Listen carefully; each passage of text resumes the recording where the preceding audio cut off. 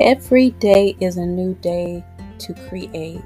This is why we take the time when we awake to wash away the thoughts that come into our mind from yesterday and start over.